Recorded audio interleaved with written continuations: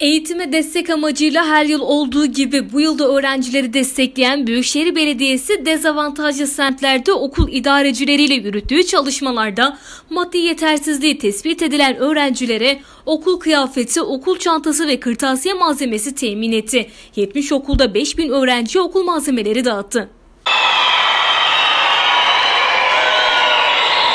Temsili olarak bin öğrenciye verilmek üzere düzenlenen okul malzemeleri dağıtım töreninde konuşan Gaziantep Büyükşehir Belediyesi Kadın Aile Eğitim ve Sosyal Hizmetler Daire Başkanı Doktor Abdullah Aksoy çocuklara sahip çıkılması gerektiğini söyledi. Son 5 yılda hem okullarımızın onarımı konusunda hem çocuklarımızın desteklenmesi konusunda ciddi anlamda yatırımlar yapıyoruz Büyükşehir Belediyesi olarak.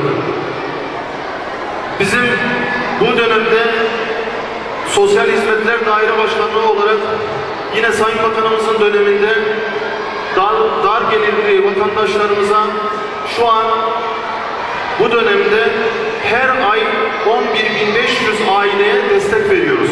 Büyükşehir Belediye Başkanı Fatma Şahin de merkezlerine çocukları koyduğunu söyledi. Çocuğu merkeze alalım. Çünkü biliyoruz